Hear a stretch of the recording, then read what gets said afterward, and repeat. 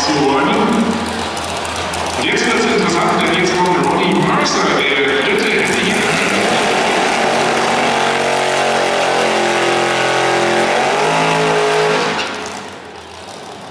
Many thanks to Ronnie and Keith over from Great Britain.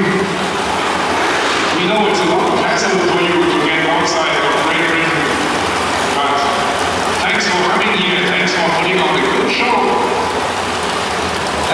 for, for. I mean, we've done it